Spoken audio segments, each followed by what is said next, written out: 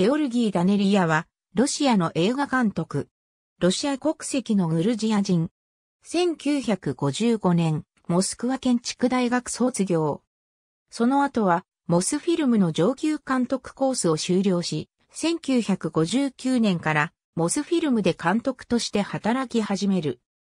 最初の長編映画作品は、ベーラ・パノアの中編小説を題材としたセリョージャであった。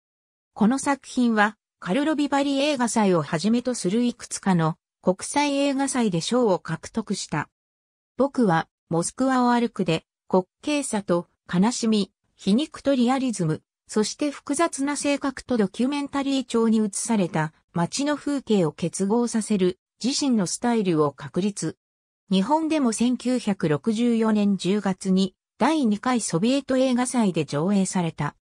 ソ連国内で最も観客動員数が多かったアホニャはタシケント国際映画祭で大賞を受賞。また、ミミノがモスクワ国際映画祭で金賞を秋のマラソンがサンセバスティアン国際映画祭で大賞をそれぞれ獲得。他にも、不思議惑星金ザザが1991年に日本で公開された。2019年2月に肺炎のために入院していたが、同年4月4日に死去した。88歳没。10月28日東京、有楽町読売ホール、10月30日新潟、松竹大竹劇場、ロシア映画社アーカイブスより、ノーバヤガゼータ、ノーバヤガゼータ、https、www、ノーバヤガジータ、ru、ニュース、2019、04、04、15万593マーキノーレースヒサージョージデンアリア2019年4月4日、閲覧。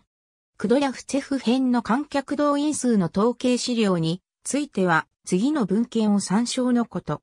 青春性、映画崩壊か再生か24ページ、同、タルコフスキーとその時代83から86ページ。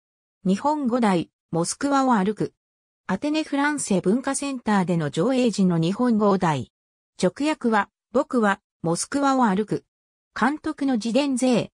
2011による。日本語題、嘆くな。日本語題、秋のマラソン。ありがとうございます。